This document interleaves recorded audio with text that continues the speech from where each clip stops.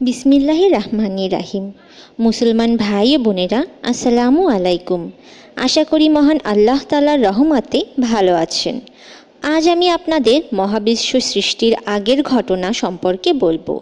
মহাবিশ্ব সৃষ্টির পূর্বে কীভাবে ফেরেশতারা সৃষ্টি হয়েছিলেন জিনজাতি কীভাবে ধ্বংস ও সৃষ্টি হয়েছিল ইবলিশ কে, এই সব কিছু সম্পর্কে আমরা আজ এই ঘটনার মাধ্যমে জানতে পারব। চলুন, ঘটনাটি শুরু করা যাক।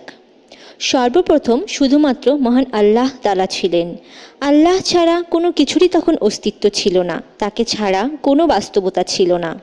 একদিন মহান আল্লাহ তালা রাব্বুল আলামিন সিদ্ধান্ত নিলেন, তিনি সৃষ্টি করবেন। তারপর আল্লাহ তালা আরও সৃষ্টি করলেন এবং পানি ও কলম সৃষ্টি করলেন। এরপর তিনি কলমকে আদেশ করলেন, লিখো। কলম বলে উঠল, হে আমার রব, আমি কি লিখব? তখন আল্লাহ তালা বললেন, কিয়ামত পর্যন্ত যা কিছু হবে, তা সব লিখো। মহাবিশ্ব তৈরির পঞ্চাশ হাজার বছর পূর্বে সেই কলম সব কিছুর নিয়তি লিখে রেখেছিল আল্লাহ তালার হুকুমে। পঞ্চাশ হাজার বছর পর আল্লাহ তালা রাব্বুল আলামিন আসমান ও জমিন সৃষ্টি করলেন। আল্লাহ তালা রাব্বুল আলামিন এরপর ফেরেস্তাদের সৃষ্টি করলেন। আল্লাহ তালা ফেরেস্তাদের তার নূর দ্বারা সৃষ্টি করেছিলেন। আল্লাহর এই অপূর্ব সৃষ্টি সর্বক্ষণ আল্লাহর ইবাদতে নিযুক্ত থাকতেন। তারা কখনোই আল্লাহর হুকুম অমান্য করতেন না। ফেরেস্তাদের মধ্যে সর্বপ্রথম ও সর্বশ্রেষ্ঠ ছিলেন হজরত জিব্রাইল আলাইসাল্লাম আল্লাহ তালার নূর থেকে ফেরেস্তা তৈরির অনেকটা সময় পার হয়ে গেল। এরপর আল্লাহ তালা আর এক ধরনের জাতি সৃষ্টি করলেন। এই জাতিকে আল্লাহ তালা রাব্বুল আলামিন এক ধরনের ধোয়াবিহীন আগুন দ্বারা সৃষ্টি করলেন। আর সেই জাতির নাম হলো জিন জাতি। জিন ও ফেরেস্তাদের মধ্যে অনেক পার্থক্য ছিল। তারা ফেরেস্তাদের মতো আল্লাহ তালা রাব্বুল আল আমিনের ইবাদাত করতেন না। জিন জাতিরা ইচ্ছা করলেই আল্লাহর হুকুম অমান্য করতে পারতেন। কিন্তু ফেরেস্তারা তো সবসময় আল্লাহ তালার ইবাদাত করতেন এবং তার হুকুম মান্য করতেন। আল্লাহ তালা জিনজাতিকে সৃষ্টি করার পর তাদের খলিফা হিসেবে পৃথিবীতে প্রেরণ করলেন। জিনজাতি আগুনের সৃষ্টি হওয়ায় তারা ছিল উত্তেজনাপ্রবণ এবং তারা প্রায় যুদ্ধ ও খুনে লিপ্ত হতে থাকল। ফলে দুনিয়ায় অন্যায় ও অনাচার দেখা দিল।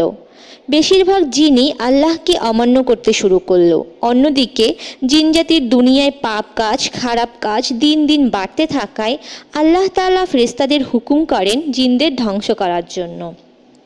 এরপর ফেরেস্তারা জিনদের ধ্বংস করার জন্য পৃথিবীতে আসে।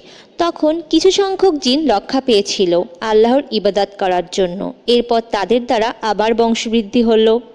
আবার তাদের মধ্যে অল্প সংখ্যক বাদে বাকিরা পাপাচারে লিপ্ত হলো। পুনরায় ফেরেস্তারা আল্লাহ তালার হুকুমে জিনদের ধ্বংস করে আবারও কিছু সংখ্যক জিন লুকিয়ে থাকে এবং আল্লাহ তালার ইবাদাত করার জন্য রক্ষা পেয়ে যায়। এভাবে অনেকবার ঘটেছিল। একদিন ফেরেস্তারা জিনজাতিকে ধ্বংস করতে গিয়ে একটি বাচ্চা জিন দেখতে পায়।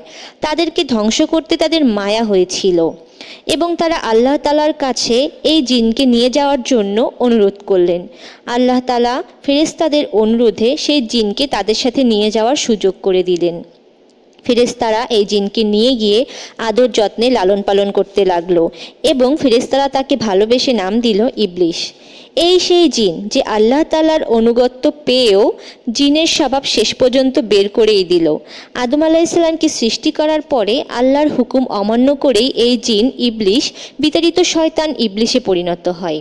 আজ এই পর্যন্তই। এর পরবর্তী ঘটনা, অর্থাৎ কীভাবে মানবজাতির সৃষ্টি হয়েছিল, আমাদের আদি পিতা ও আদি মাতা কীভাবে সৃষ্টি হয়েছিলেন, তাদের সৃষ্টির রহস্যসহ সকল ঘটনা জানতে আমাদের চ্যানেলটিতে লাইক, কমেন্ট, শেয়ার ও সাবস্ক্রাইব করে পাশে থাকার জন্য অনুরোধ রইল।